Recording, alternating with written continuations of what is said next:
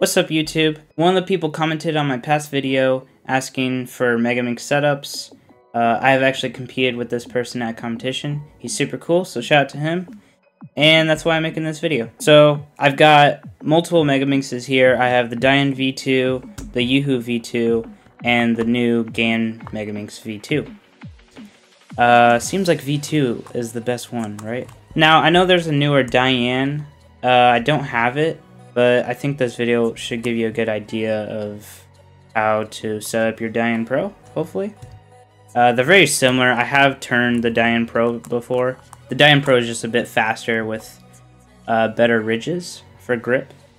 So anyways, let's start with the Yuhu V2 because I feel like most people have that.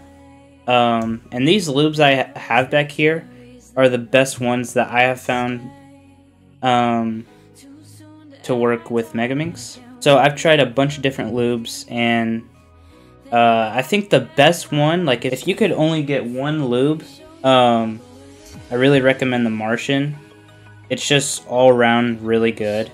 It's very versatile, not just for Megaminx, for multiple events. But yeah, so Megaminx, you know, it's a cheaper product, so to get it really good and very supreme, you got to do quite a bit of setup. So the first thing I do on a new Mega new Yuhu Megaminx is I pop off all of the center caps and I loosen it a lot. It comes very tight usually, and one thing that kind of sucks is sometimes you'll get sometimes you'll get like crooked screws, like the screws are pointed left or right. Uh, this one seems pretty even though. But I'll loosen it the way I like it. I like it very loose. And the downfall of that is you'll just get extra pops. So beware of that. And then once I've done that, I'll leave the center caps off still, and I'll put lunar on the screws. And that seems to like help with the like center cap tensioning and like lubricate all of the tensions and stuff. And all you need is like one or two drops on each screw, and it should be perfect. So once you've done that, then I usually start with like five drops of Martian and divide your drops from like three different spots. So like do a spot here, do a spot here, and then do a spot here. Just in opposite sides of the puzzle. Just to help spread around quicker. And then if that's too fast, then that's what Galaxy is for. So you'll use Galaxy to slow it down a little bit, make it a, a pinch gummier. It depends on how much you use. I would start with like three drops and work from there. You don't want to make it too gummy. But either way you break it in, it's just going to feel really, really nice. And then if it's too slow, then just put a couple drops of lunar on the pieces and go from there. It really just goes off of feel. Uh, for me personally, I don't recommend using really heavy lubes like Traxas or any of the any of the weight lubes. I feel like they're a little too heavy for Mega Megaminx. But if you were to use one, I would start with maybe Weight 4 or Traxas 10K. Um, but just be aware they last a while in the puzzle. They take a long time to break in. So if it's too heavy, I recommend just cleaning out your puzzle and restarting. Alright, so next up is DaYan V2. So DaYan V2 takes a little bit of less setting up. Um, it's also not as important because out of the box, that just shot out of my table. So this is optional. You don't really have to do it, but I recommend it. Um, still put at least one drop of lunar on each screw. And then I also loosen mine, just like same thing with the Yuhu. I loosen it really loose to have that nice speedy feel. Again, another con whenever you do that is you'll get a lot of pops if you mess up on turning often. I didn't have to put any Galaxy in the in the DaYan. I just put like four drops of the Martian and maybe a couple drops of the lunar on the pieces and it was money. It was really good. All right.